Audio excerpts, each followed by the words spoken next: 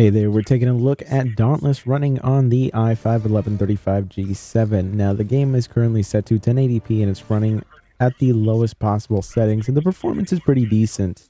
We are currently in the mid 30s, getting an average of 38 and those 1% lows looking a little brutal, but overall the gameplay is very playable. This is one of those games where you're you could be a bit forgiving with the frame rate because it's a third person game. You can play with a controller and you'll have a pretty reasonable time.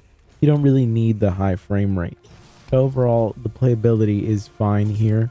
I will say that there are certain areas of the game where the performance is really going to tank. Although I think it's areas that it doesn't really matter too much. Like if we go to the overworld section, you'll see that the performance pretty much just suffers a lot. I mean, those frame times are insanely bad it levels out as you know you go around unless things are on display but in this main hub area it it is pretty bad. But the performance is kind of inconsequential to all the stuff that you're doing here. In the actual game the performance is good enough that you're going to be able to just play it perfectly fine without really any issues now, you can drop the resolution down to 720p, but I found it extremely difficult to do that within the game itself. I would have to set my desktop resolution to 720p.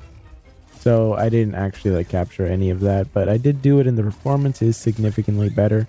But I just felt like 1080p looks good and plays good enough that I'd probably just keep it like this for this kind of game.